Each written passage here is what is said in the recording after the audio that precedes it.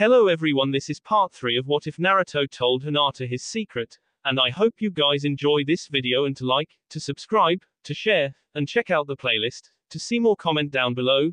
Now let's start the intro.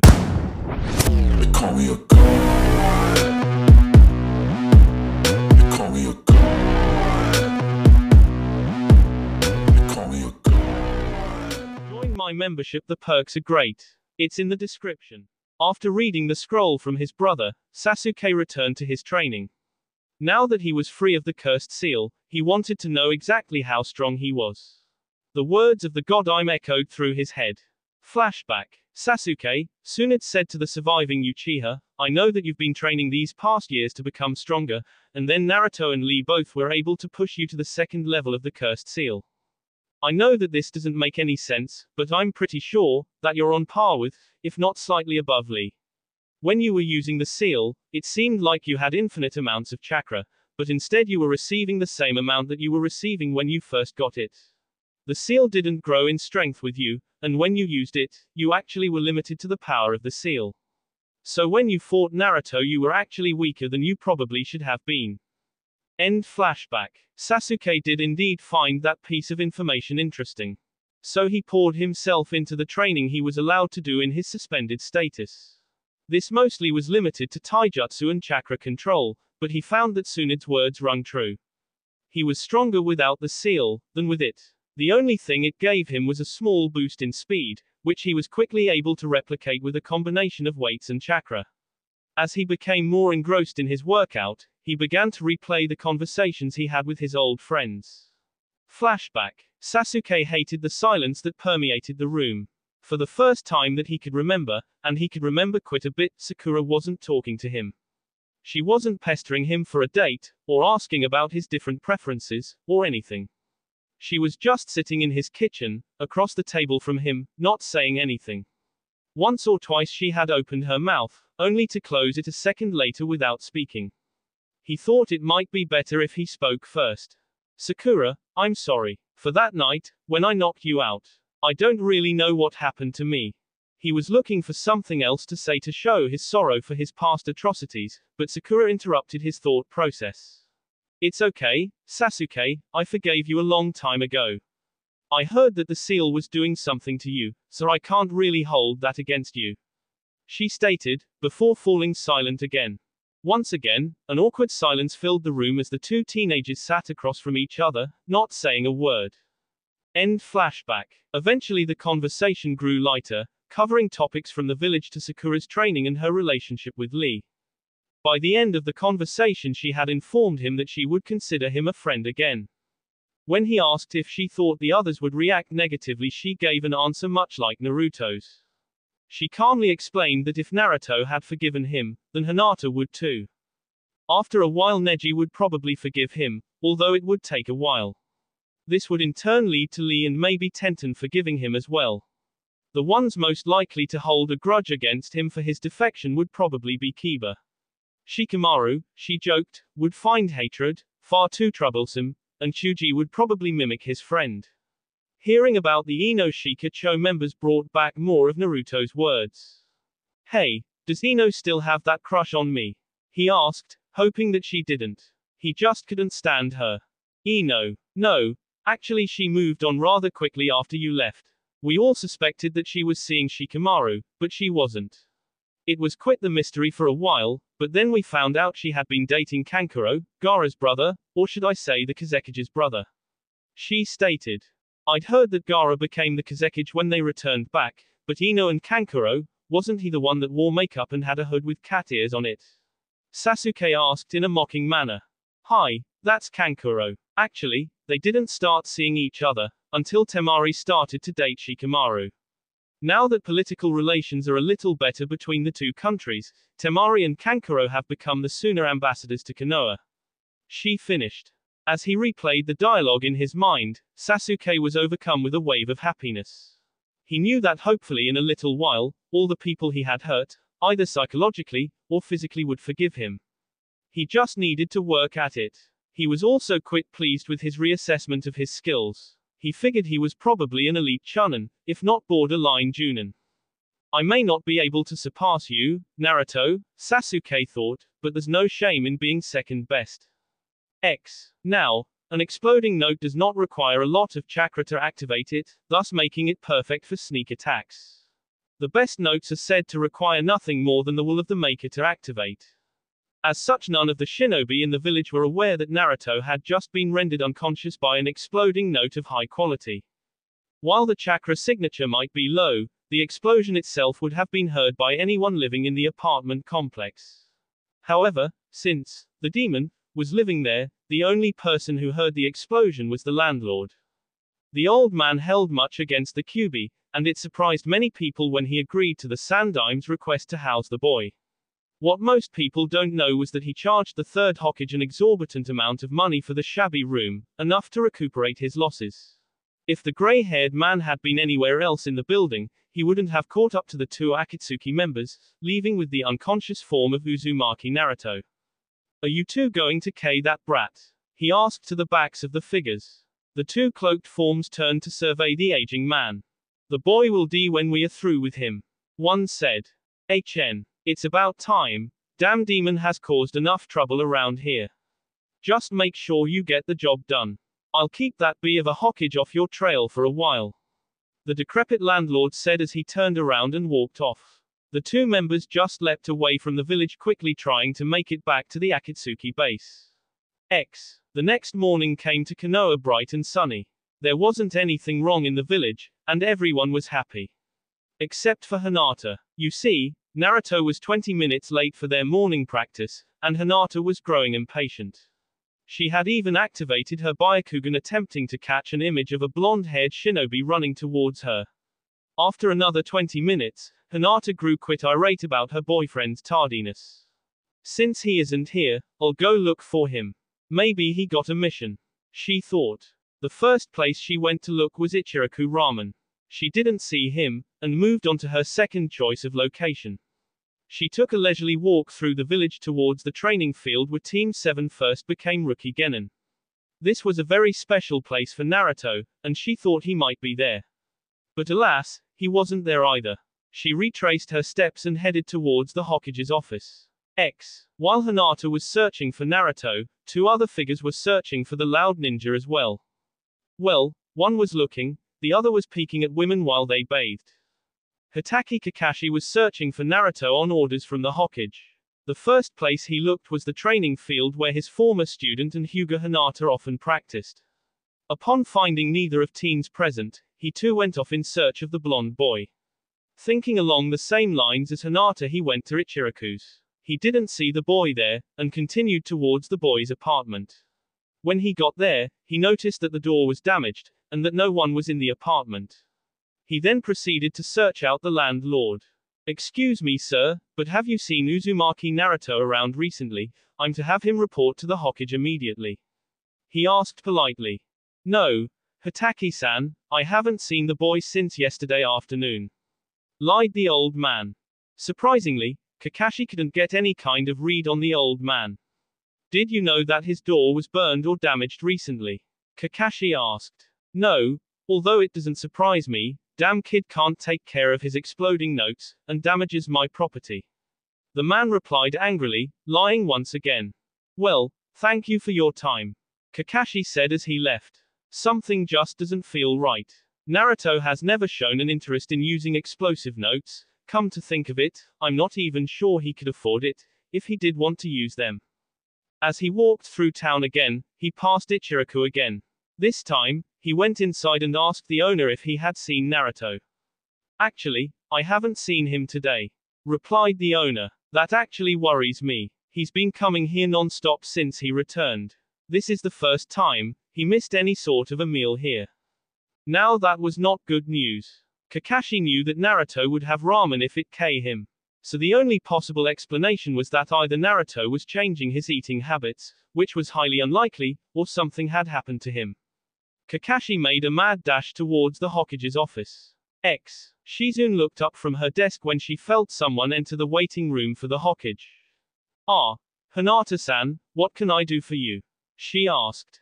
Ayano, MIW was wondering I if Naruto K-kun had a mission T today.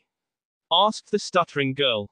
Well, not that I know of, but if you wait a minute, the Hokage will be done with a meeting, and you could ask her. But, why do you want to know? Shizune replied. W well, he didn't s shush show up for PR practice today and H he wasn't at IC Ichiraku's, and I already checked H his O other training grounds. H he's not anywhere, Hinata said quietly. Just then Tsunade exited her office to speak with Shizune. Shizune whispered something in Tsunade's ear, and the Hokage stiffened slightly. I'm sorry Hinata, but I didn't assign Naruto to any mission today, I don't know where he could be. Tsunade replied. As the shy heiress was about to reply a noticeably panting, gray-haired Junin entered the room. Hokage-sama, we have, a problem. Naruto wasn't at his house or at Ichiraku. His apartment shows signs that something happened, but the landlord wouldn't say. Something needs to be done fast. Kakashi reported, while gasping for air. A look of confusion, panic and terror crossed the faces of all those present. Somehow, Uzumaki Naruto had gone missing.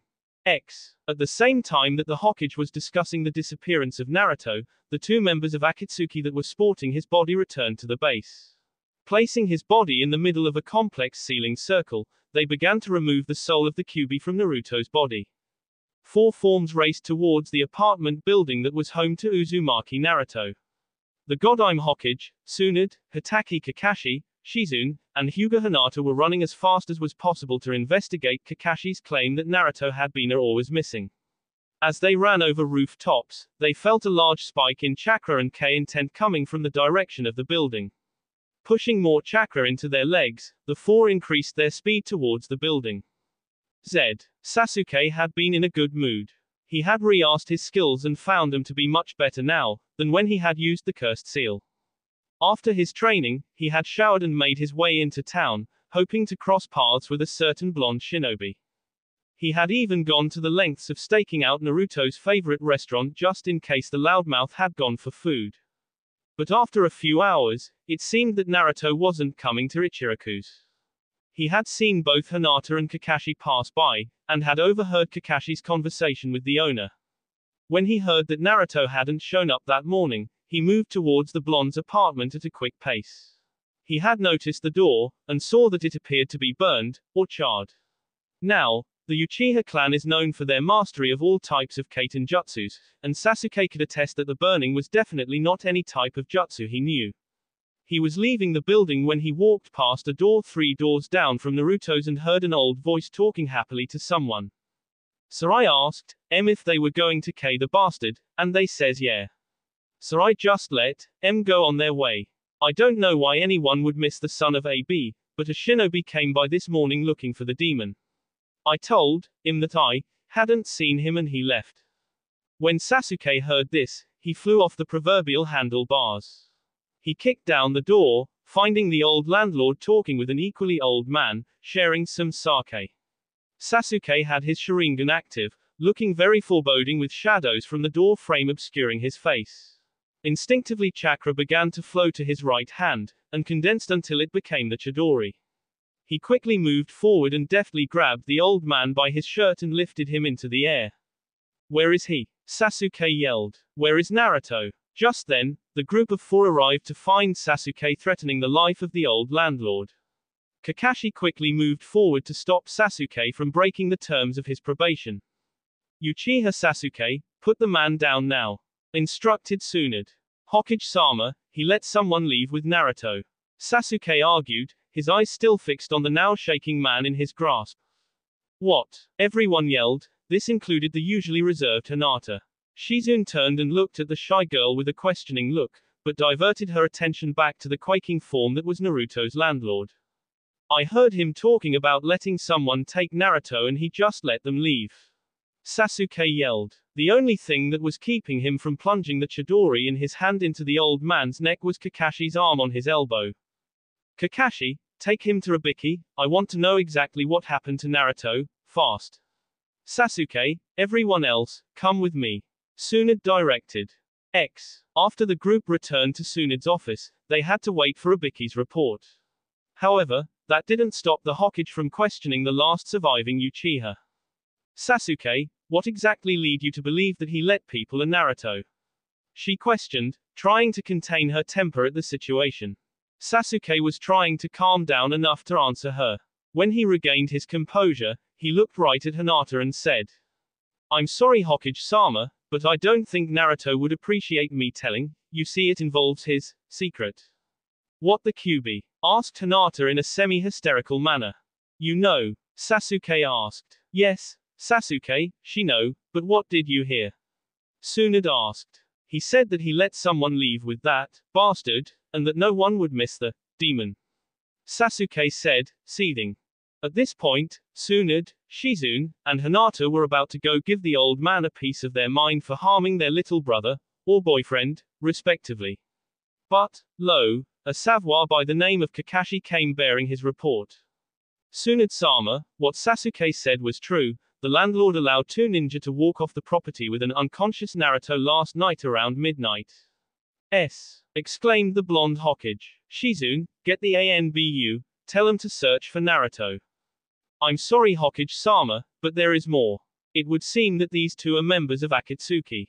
Kakashi interrupted. At this everyone, save Sasuke's face paled. What does my brother's old organization have to do with Naruto? inquired the black-haired genius. The Akatsuki are after the nine Biju or tailed demons. Tsunade explained. Shizune, scratch the ANBU, we're going after him ourselves. I want Nara Shikamaru here in 10 minutes, and I also want Guy, plus anyone else you can convince. I'm bringing my little brother back, if it came me. Shizune went to gather Shikamaru, and Kakashi left in a puff of smoke to fetch Guy. Sasuke, I'm revoking your suspension to help us in our retrieval. We are going to need all the help we can get. Sasuke nodded, and was about to leave to gather his equipment when Hinata spoke up. Hokage-sama, I'm going as well. She said in an unwavering voice. Hinata, I'm afraid that I can't allow that, due to your condition. The Hokage delicately said. Hinata was about to yell that she didn't care, and would gladly risk the Nibi, for Naruto, but was interrupted prematurely by a bird with a message attached to its leg. Tsunade took the message and read it, eyes growing larger with every word she read. When she finished she addressed the two remaining Chunin. Hinata scratched that order, you and Sasuke have four minutes to gather all of your equipment and be back here. I would seem that the Kazekage has done something rather rash. The two just nodded in acknowledgement and left in a burst of speed out the window. X. Exactly four minutes after the two teenagers left, they returned, extremely winded and gasping for breath. As they were recuperating, Shizune entered with Shikamaru and Shino, who had apparently been playing shogi with the lazy genius.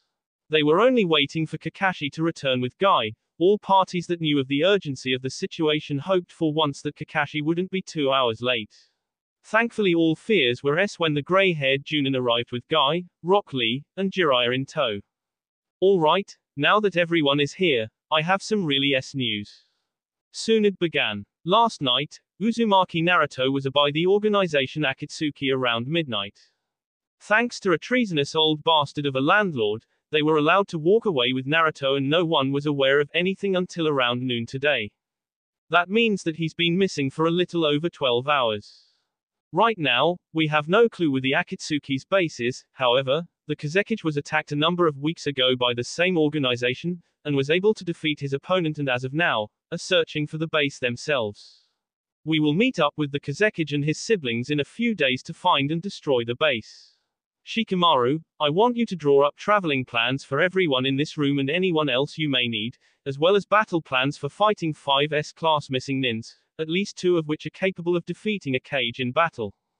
Hi, Hokage-sama, it would help my planning if I knew of the abilities of the members of this group, do we have any information on them?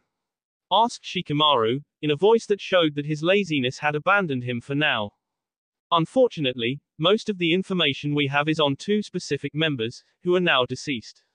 We do know, however, that there are two grass nin, one cloud nin, at least one stone nin, Sasori of the Red Sand, and the leader, of whom we know nothing. I am going to need this ready by sunset, because that is when we are leaving. If you need anyone else, let us know and we will find them. Replied Tsunade. X. True to her word, the group of nine shinobi were speeding through the forest bordering the village in an attempt to rendezvous with the Suna group by noon of the next day. They ran far into the night before they took their first break. The formation was a quite efficient diamond pattern with Guy in front, flanked by Shino and Lee. Behind those two were Jiraiya to the left, Shikamaru in the middle, and Kakashi to the right. Behind the middle of the group was Sasuke on the left and Tsunade on the right followed by Hinata. The reasoning for this was explained by Shikamaru earlier. Okay, here's the moving formation. It'll be a diamond shape since we want to be able to defend ourselves, and search for Naruto. Guy will be the first person, he has both the skill and speed to detect traps, or ambushes. Behind him will be Shino and Lee. Shino will be able to scout using his bugs, without breaking formation keeping the defense of the group higher, while Lee has the speed to escape, should something, unforeseen come up. The next line will be Jiraiya and Kakashi on either side of me. That way I can see what is happening, and Jiraiya and Kakashi can cause major damage should we get caught in a trap. Behind the middle line, is Hokage Sama, and the Uchiha. Hokage Sama can deal with any W that way, and the Uchiha can act as kind of a bodyguard. Hinata, with your Byakugan you'll be the rear guard as well as medical backup. The mood was tense as the group took turns standing watch and sleeping. It seemed as if something was missing from the group. Shikamaru had the nagging feeling that he was forgetting something. Like there was a hole, and it needed to be filled, but there wasn't anyone who could do what he wanted. The Junins as well had the feeling. Guy even forgot to be insulted by Kakashi's Hippatude when he blew the green-clad taijutsu master off. Tsunade and Jiraiya were worried over the blonde boy who had worked his way into both of their hearts, while Hinata took the news of Naruto's predicament the worst. No one could tell, but Hinata was actually not in control of her own body at the time. The Nibi was controlling her body, since Hinata had gone into shock upon hearing that Naruto had been captured by the Akatsuki. Eventually everyone drifted into an uneasy sleep, permeated by nightmare scenarios of the Kyuubi's rebirth or escape. X. The next day found the group traveling at breakneck speeds once more, in an effort to shorten the distance between them and Naruto's attackers. They had been moving since daybreak on a light breakfast, adrenaline, and soldier pills. Around 11 o'clock they had slowed down for a quick lunch. It was imperative for them to be well nourished because when they found the location of the base, they would be fighting immediately. Just as they finished, they felt a humongous spike in chakra, about half a mile from the current position. The only one who recognized it was Sasuke. TTH that's Gaara's chakra. Sasuke stammered. The group doubled its speed and caught up to the enraged Kazekage in a matter of minutes. When they arrived, they found the Suna siblings fighting around the entrance of a dank-looking cave. Outside were three of the members of the Akatsuki. The two grass shinobi, and one stone ninja were outside fighting Gaara, whose sand was circling the three. As the group came close enough to help the Kazekage and his siblings, Gaara succeeded in catching one of the grass ninja in his sand. Sabaku Kyu. Desert Graveyard, stated Gaara calmly. He then closed his outstretched hand compressing the cocoon of sand. Sabaku Soso. Desert Funeral. As the grass ninja seeped through the sand, Shino was able to sneak up behind the other grass ninja. This one had a high collar around his cloak, which made him resemble a Venus flytrap, or a lion ant. This was but part of this ninja's interesting markings. His face has half black and half white, the dividing line, being vertically down the middle of his face. Shino sent some of his chakra-eating bugs at the awkwardly clothed ninja. Surprisingly, the ninja simply laughed at the young Aburame's attempt. Foolish child, your attack won't work. I can freely move my chakra though the flora in my surroundings. Your bugs will never be able to deprive me. I know that you don't have any other kinds of insects residing in your body, so you can't win.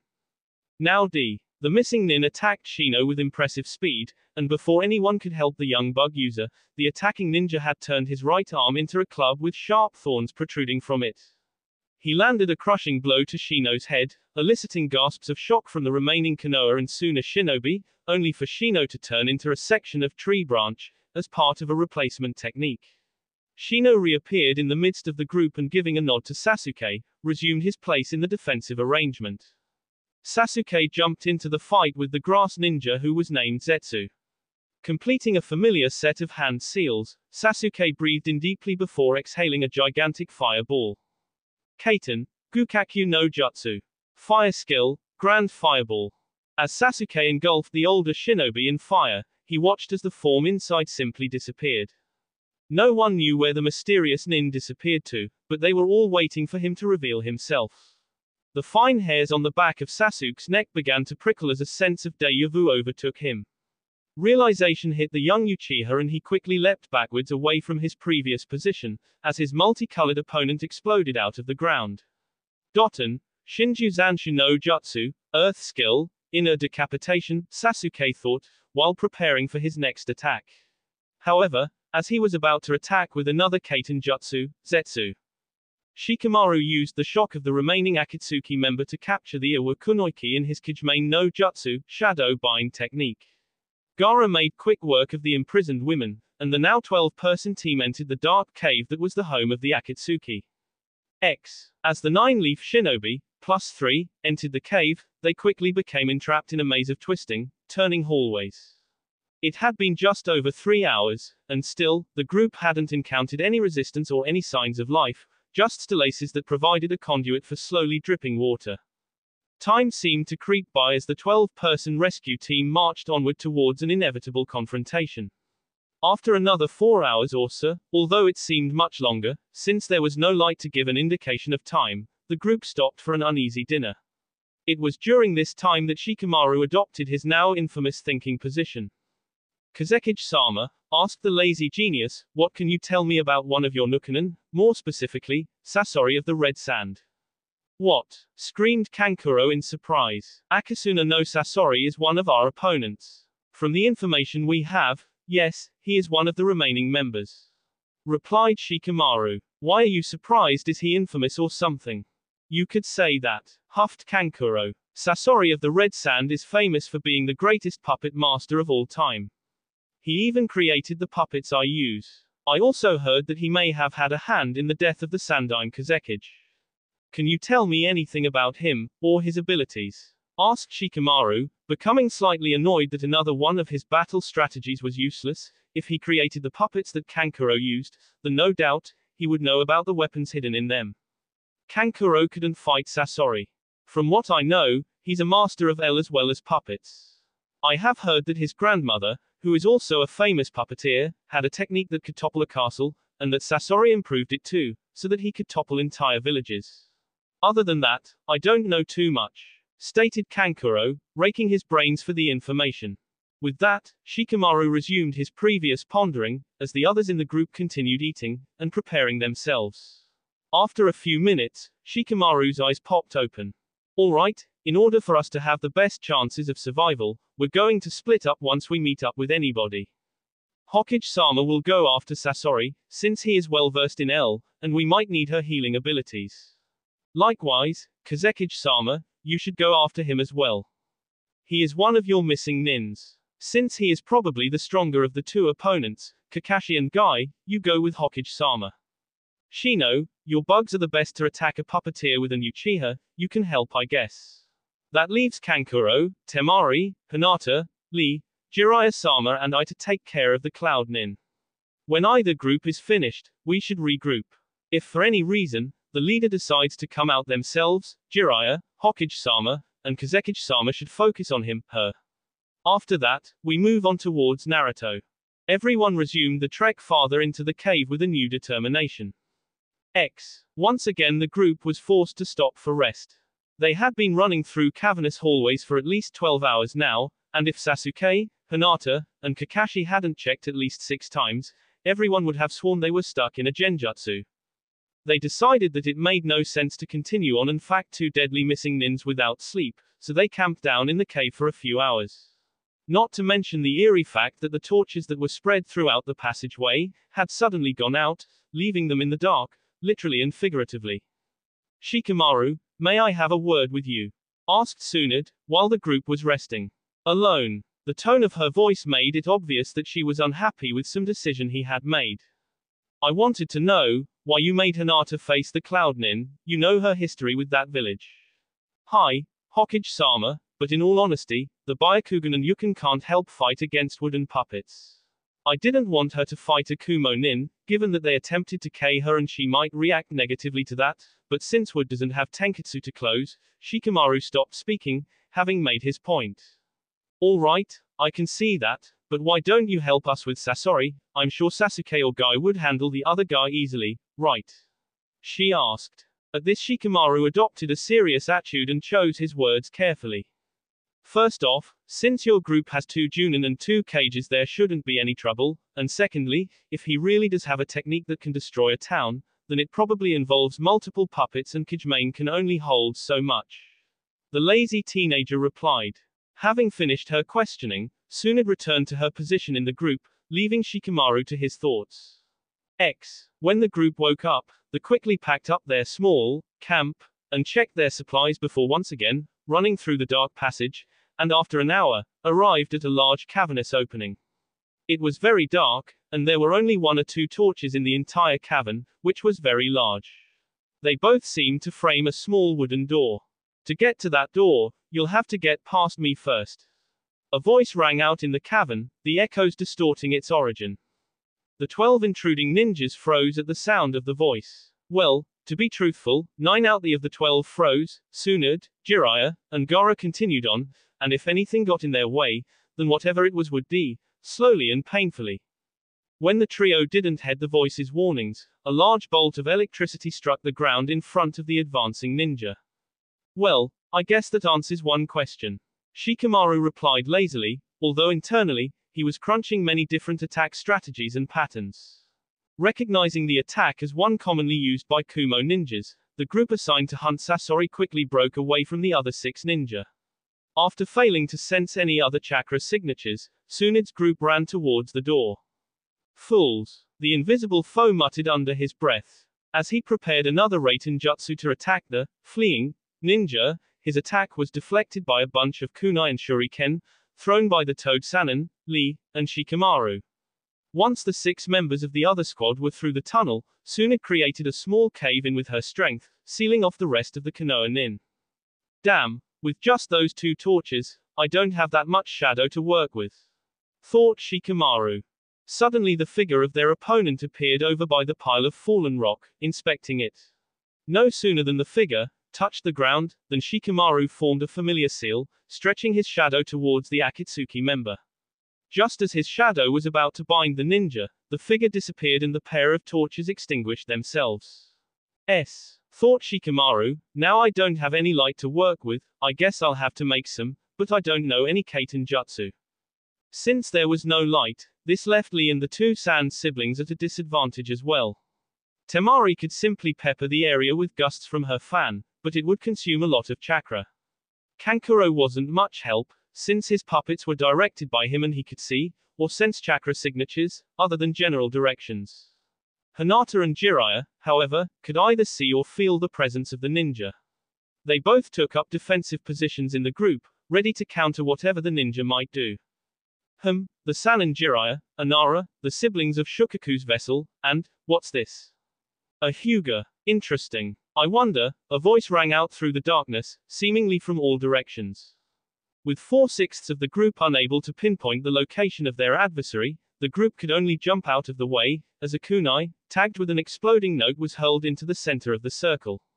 The explosion lit up the cavernous area that the S was engaging the Akatsuki member, for just enough time that they were able to check out the terrain. And for the missing Nin to make a haunting remark. Short, dark hair, and a pair of Byakugan eyes. It seems that I may yet be able to strike at the Hyuga clan, even after these 12 years. Hinata's eyes widened, and she began to shake. Hinata, who had been in a state of shock since Naruto's A, finally asserted herself, wresting control of her body away from the Nibi. Why you? she exclaimed, before sinking to her knees upon realizing who their foe was. Before anything could happen, Shikamaru, Temari, Kankuro, and Lee rushed to the fallen girl's side, protecting her from any attack that may come. Temari placed her hand on Hinata's shoulders and tried to talk with the shaking girl. Hinata-san, what's wrong? She asked. TTH that M-Ma man was the one who tried to K me, WH when I was T3.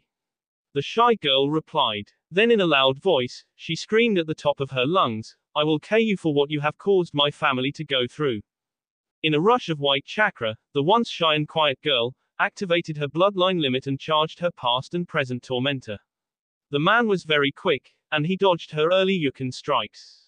However, after only a few seconds, Jiraiya joined the battle, and made the man's task of dodging an enraged Hinata's attacks, that much harder. Just as she was about to land a severe strike to his heart, he disappeared from her line of sight. I don't know how you're alive, but I can guarantee that it won't be for much longer. She cried, as she moved to attack the man who had once been the head shinobi of Kumogakure. But as she was about to re-engage the ninja, she heard Jiraiya yell out, Katon, Katon, Ryuka no Jutsu, Fire Skill, Dragon Fire Technique. The attack caught the missing Nin, completely off guard. The dragon incinerated him, only for it to turn into a smoldering rock, the moss on the rock, igniting due to the intense flame it was exposed to. In the faint light that was provided, Jiraiya watched as the ninja ran at incredible speeds, even surpassing Lee, towards Hinata. Just as he was about to strike her, he suddenly stopped in his tracks. Kagemane no Jutsu, success. Came the voice of Shikamaru. No hurry up and finish this before the stupid rock goes out. Hinata quickly stuck the man with a Yukin strike to the head, while Jiraiya powered a Rasengan into his chest from behind. Hinata was panting from using so much of the Nibi's chakra, but the group was, for the most part, unharmed. The group was about to begin working to clear the debris of Tsunade's cave-in, when suddenly, an explosion in the ceiling of the cave showered Shikamaru, Temari, Lee, and Kankuro with rock. If Kankuro hadn't used his puppets to create a shield for the group, then they certainly would have been crushed. When Hinata and Jiraiya turned around, they noticed that the Cloud Ninja was standing up, a black substance was healing his eye. That was quite impressive, had I actually been alive, then that would have definitely K me. The man quipped. Not alive, what do you mean? Hinata asked, glaring at the regenerating ninja. He means he's been resurrected by a jutsu, most likely Kuchiyose no jutsu, Edo Tensei, summoning technique, underworld resurrection. Jiraiya responded. That means that his soul is attached to the body, probably by a special kunai or physical object. Very good, of course you are the Toad Sannin, so I really shouldn't underestimate you. The ninja chuckled back. Hinata activated her Byakugan to search for the kunai that held the ninja's soul in the body. But she couldn't find anything. She began to pump more chakra into her eyes, searching for anything that wasn't regular. However, the Kumo ninja had no plans to allow her to scan his body. Meanwhile, Hinata kept scanning her opponent for any irregularities of his chakra system. Suddenly she found the answer to her problems. Jiraiya-sama, if you can stop his movements, I think I can destroy the body. She cried, keeping her pale eyes on her target. Jiraiya simply nodded, and performing a number of hand seals, cried out, Doton, Yomi Numa. Earth skill, swamp of the underworld. The hard rock of the cave quickly became a very large, very deep swamp. The offending cloud ninja was caught by surprise, and quickly became ensnared in the thick muck. Running on top of the summoned swamp, Hinata ran towards the waist-deep man, and planted a sharp Yukin strike on his chest. But instead of simply forcing chakra through a tenketsu, she forced a large amount of chakra into a strange seal that was placed on her opponent's chest. Ha! Do you really think you can K me with that stupid taijutsu style of yours? The cloud ninja laughed at Hinata's attempt to K him a second time. Yes, was the only reply he received as a sharp pain shot through his chest. Suddenly Hinata was gone, telling Jiraiya to move and help the remainder of the group, who was still trapped under the pile of debris. As she did this, the former Cloud Nin gave a shout of pain and simply exploded. What did you do? asked the perverted hermit. I forced a very large amount of chakra through the seal that was keeping his soul rooted to the body. Hinata explained. Once again, she activated her Byakugan and searched the rock pile for signs of her comrades. Finding them trapped, but alive, she began to surgically destroy the piles of rock with well-aimed Yukin strikes, and Jiraiya summoned some toads to help clear out the pile as well. After an hour, the collapsed area was small enough for the four trapped ninja to escape. Now focusing all of their attention to the caved-in tunnel, courtesy of Tsunade, the group began to clear out larger piles of rock and earth. Eventually they were able to move ahead, towards the advanced group, and Sasori of the Red Sand. The group consisting of Gaara, Tsunade, Kakashi, Guy, Sasuke and Shino continued to race towards their next opponent while their fellow comrades were fighting the Cloud Akatsuki. Tsunade's cave-in effectively sealed them off from the other group, and in essence, any chance of reinforcements. Finding themselves in a continuation of the corridor that they were traveling earlier, the group raced on, in hopes that they would be able to save Naruto from a certain death. After a relatively short amount of time, the group came into another expansive cavern, even larger than the last one. The main difference was that this one was completely barren, and was lighter. The other obvious difference was that it was empty. While the other ninja had broken cover, quickly after the group had entered, this room was completely empty. Guy was in front of the group, his speed would allow him to dodge any trap that was set, and behind him were Kakashi and Sasuke, their Sharingan would allow him to react to any traps or ambushes that may have been set. Just as Guy entered the room, a tail, gleaming with L appeared from his left. The green-clad taijutsu master dodged the tail, and counter-attacked with a right-footed heel kick. As he disappeared to the group's left, the rest flooded the cavern to watch as the Junin's kick was blocked with the tail. The metal of the weights Guy wore clashed against metal blades stored on the tail of what could only be described as a scorpion. There against the wall of a cavern, stood a hunched-over figure, draped in a black coat adorned in red clouds. He had a large tail coming from his back. Upon having his initial attack blocked, Guy quickly rejoined the team, a safe distance away from the figure. Ah, I see that you have Itachi's younger brother with you, which is good, we could ill afford to allow my former partner to obtain a weapon such as the Sharingan. The figure said. Sasuke merely looked at the figure, eyes shifting from onyx black, to a crimson red. Flashing through a series of hand seals, the final Uchiha released a large ball of flame from his mouth, directly at the hunched over figure.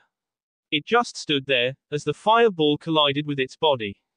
The group was surprised when the figure emerged from the blaze with no visible damage, save for its cloak. It was a figure, with two arms and legs, unlike a true scorpion, its legs seemed to be normal, as well as its right arm and the left arm seemed to be covered in a weird gauntlet. The tail sprouting from his back seemed to come from the mouth of a face that adorned his back. Just as he appeared from the inferno caused by Sasuke, Gaara's sand enveloped the man's arms and legs as well as the tail. Taking this as their cue, Guy, Kakashi and Sasuke attacked the body of their opponent. All of their attacks did little damage however. Shino was about to send out his Kikai bugs, however the Godaime, in a fit of rage, ran forward and obliterated the body in one punch. Dust and splintered wood flew into the air, as a black figure emerged from the debris and coolly addressed the group.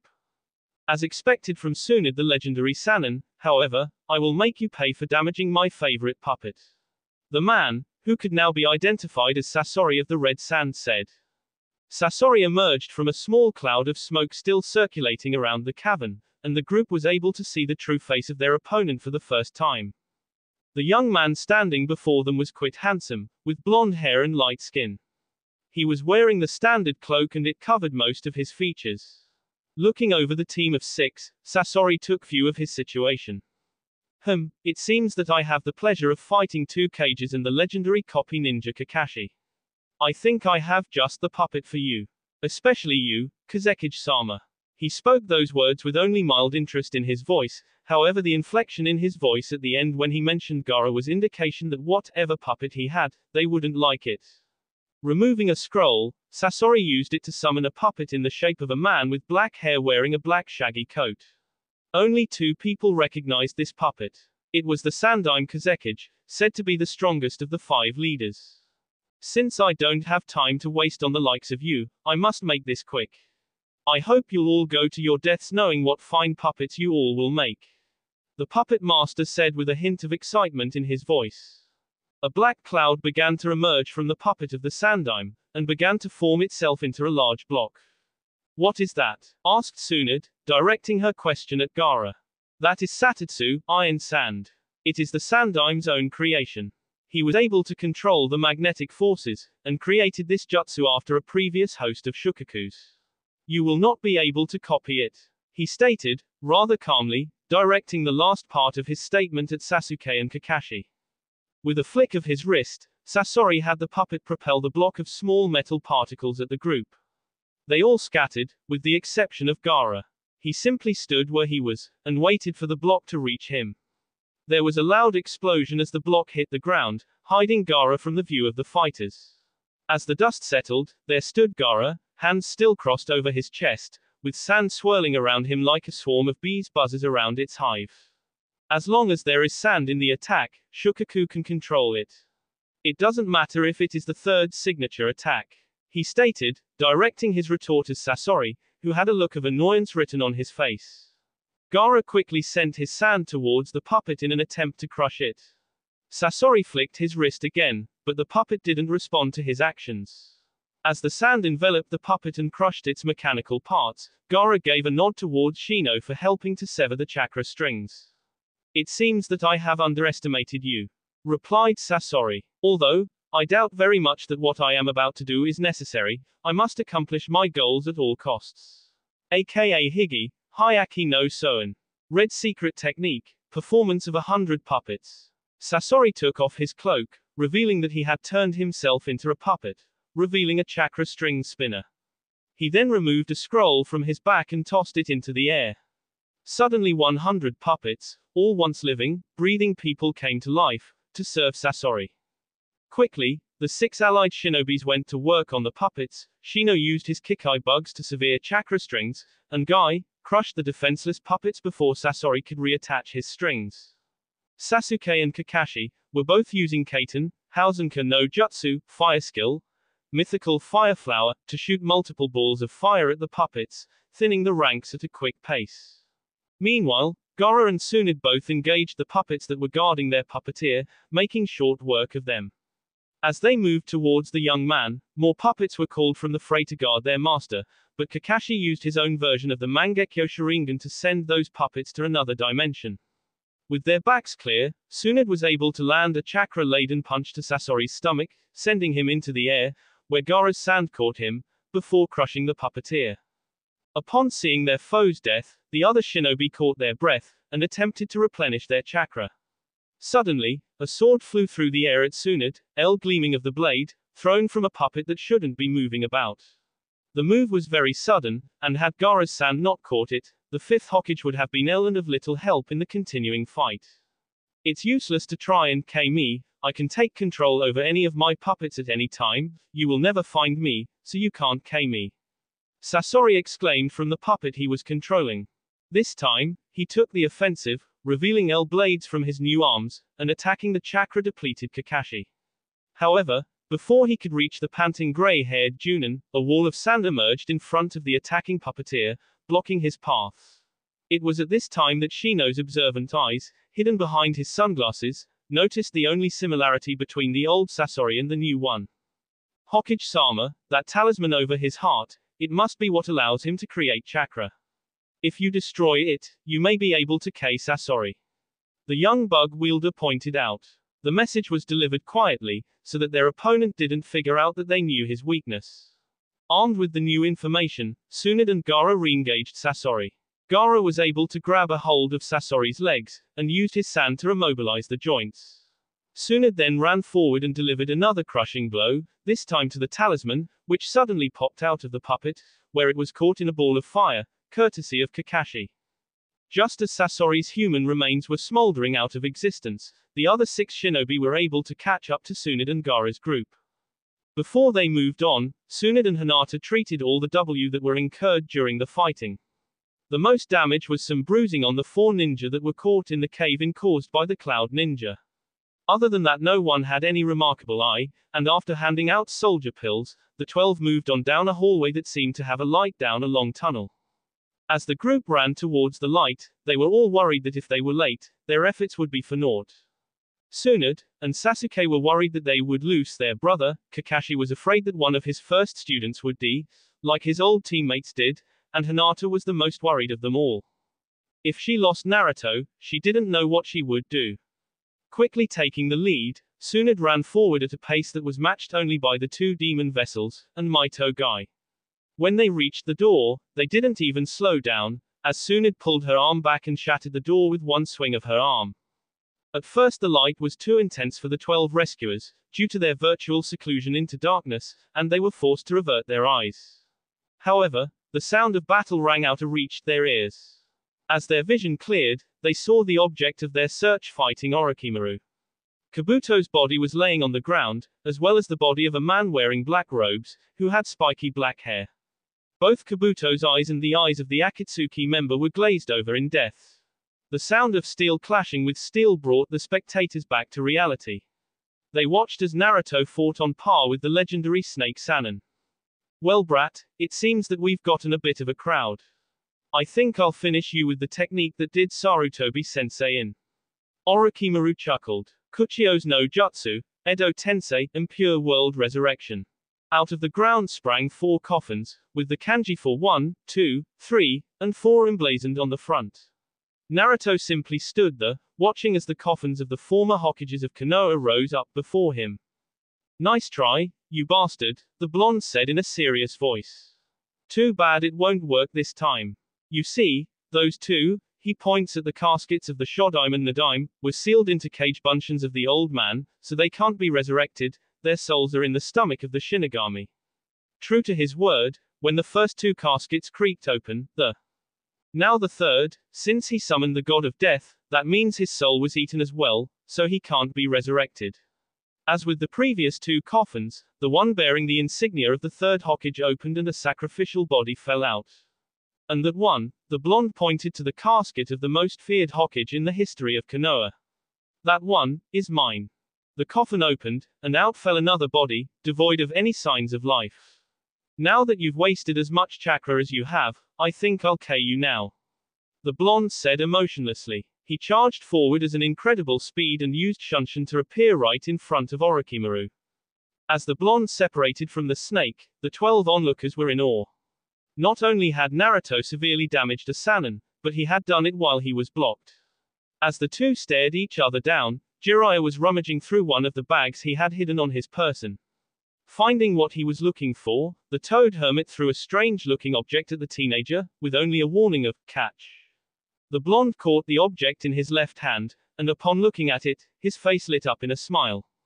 Thanks, Jiraiya-sensei, he cried out before hurling an oddly shaped, three-pronged kunai at the snake Sannin's head. Orochimaru simply turned his head to the right and the missile flew harmlessly past. My my, that was a waste of my comrade's gift. The pale man chuckled. You wish, bastard. The blonde replied, chakra spinning in his hand. Here's a new attack for you Rasengan. Suddenly the blonde disappeared, and reappeared behind the legendary Sannin, who was now sporting a large hole in his chest. As Orochimaru D, the remanning ninja could only stare at the once, D last, who had just K the legendary Orochimaru. As he turned around, the group could see for the first time that something was wrong with Naruto. The whisker marks on his cheeks were gone. In Naruto, Tsunade stuttered as she tried to make coherent speech. I'm sorry, Tsunade, but Naruto isn't in at the moment. The blonde responded. Who are you then? She asked. Why you're in not the KKQB, are you? No. The bastard fox is inside this ugly sculpture that's supposed to pass as a medium for the souls of the Biju. He replied. Right now, it's just me. He responded. Anno, if you're not Naruto-kun, then who are you? Demanded Hinata from the back of the group. Ah, that's a good question. My name is Kazama Arashi, and I am the fourth Hokage. The blonde said, smiling. X. That will be all for this video. Be sure to like, subscribe, share, and comment down below for more videos. Goodbye.